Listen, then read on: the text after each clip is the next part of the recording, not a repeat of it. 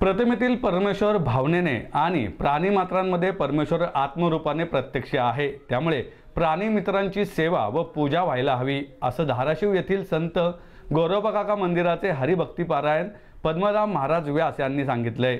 श्रीमंत दगडूशेठ हलवाई सार्वजनिक गणपती ट्रस्ट व सुवर्णयुग तरुण मंडळातर्फे चातुर्मासानिमित्त गणेश कला क्रीडा मंच येथे आयोजित महोत्सवात प्रवचन व कीर्तन महोत्सवाचे आयोजन करण्यात आले आहे. याचे उद्घाटन पंढरपूर विठ्ठल रुक्मिणी देवस्थानचे माजी विश्वस्त हरिभक्तपरायण शिवाजी महाराज मोरे यांच्या हस्ते झाले.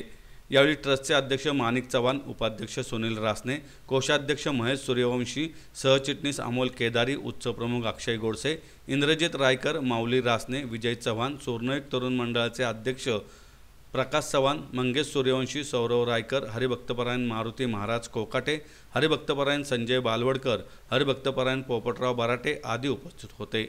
तब्बल पस्तीस वर्षाहून अधिक काळ हा कार्यक्रम सुरू आहे. हरिभक्तपरायण शिवाजी महाराज मोरे म्हणाले समाज परिवर्तनासाठी दगडूशेठ गणपती ट्रस्टतर्फे तब्बल एक्केचाळीस ते बेचाळीस विषयांवर सातत्याने कार्य सुरू आहे. वारीमध्ये देखील निर्मल वारी हरित वारी यासारखे अभियान पंढरपूर देहू व आळंदी देवस्थानसोबत राबवण्यात येत आहे. सामाजिक कार्यासोबतच चातुर्मासानिमित्त ज्ञानयज्ञ होणे हे देखील उत्तम कार्य आहे. ट्रस्टच्या सामाजिक धार्मिक कार्याला आमचाही पाठिंबा असाच राहील असंही ते म्हणाले. श्रीमद भागवताच्या अंतर्गत कपिल गीतेमध्ये तिसऱ्या स्कंधात कपिलाचार्यांनी असं म्हटलंय की सर्व भूतांच्या हृदयामध्ये स्थित असलेला मी म्हणजे परमात्मा सर्व भूताशय स्थित त्याला सोडून देऊन त्याची भक्ती किंवा त्याची सेवा करायची सोडून जो केवळ मूर्तीमध्येच मला पाहतो याचा अर्थ भगवंतानी मूर्तीपूजेचा निषेध केलेला नाही.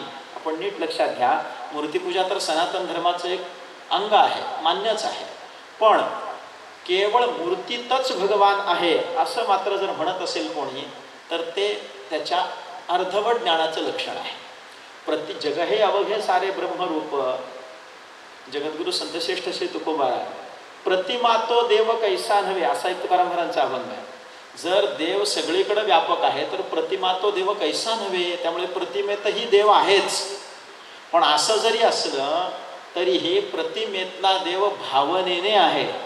आणि प्राणीमात्रातला देव आत्मरूपाने प्रत्यक्ष आहे. म्हणून प्राणीमात्रांना भगवद रूप जाणून त्यांची सेवा करण्याचं व्रत जे घेतात श्री कपिलाचार्य म्हणत आहेत की असे जे केवळ मूर्तीची पूजा करतात पण प्राणीमात्रात अवस्थित असलेल्या भगवंताची पूजा करत नाहीत त्याची सेवा करत नाहीत तर ते भस्मन्येव जुहोती सहा. भस्मनी एव जुहोती सहा. सहा म्हणजे तो भस्मनी म्हणजे राखेमध्ये जुहोती म्हणजे हवन करतो. राखेमध्ये हवन केलं काय उपयोग आहे सांगा मला? हवन कुठे करावं लागतं? प्रदीप्त अग्नी जिथे आहे तिथेच हवन केलं पाहिजे.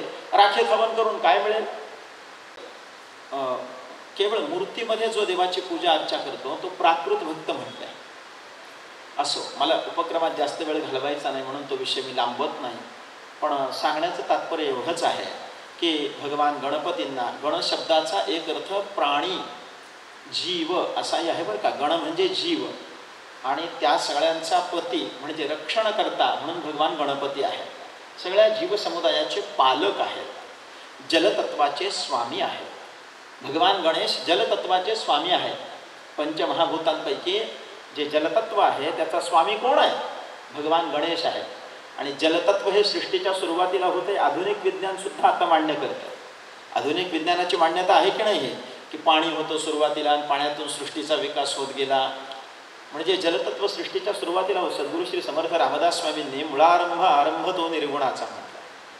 गणाधीश जो ईश सर्वा गुणांचा तर भगवान गणपती हे जलतत्वाचे स्वामी आहेत आणि जलतत्व हे सर्व सृष्टीचं मूल आहे.